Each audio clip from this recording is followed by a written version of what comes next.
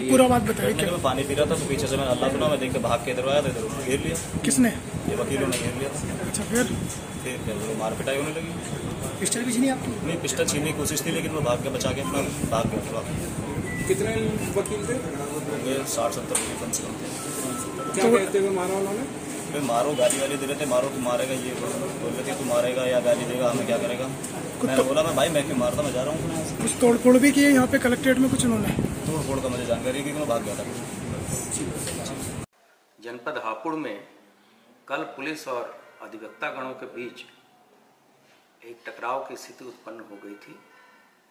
उसको देखते हुए पूरे प्रकरण की जाँच हेतु शासन के द्वारा एक एसआईटी गठन किया गया है।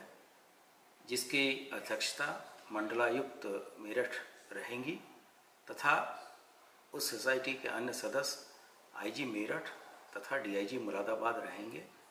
इस एसआईटी को यह निर्देश दिया गया है कि अगले सात दिनों में इस घटना के सभी पहलुओं की जाँच करके उत्तरदायित्व का निर्धारित करते हुए अपनी रिपोर्ट तत्काल शासन को प्रेषित करें। इसके साथ साथ हमारे सभी बार काउंसिल के लोगों से हमारे ज़िले के अधिकारी टच में हैं और सबसे अपील है कि कानून व्यवस्था बनाए रखने में सहयोग करें और जिला प्रशासन और उत्तर प्रदेश शासन हर तरीके से अधिवक्ताओं तथा सामान्य नागरिकों के, के साथ कोई दुर्व्यवहार न हो इसके लिए संकल्प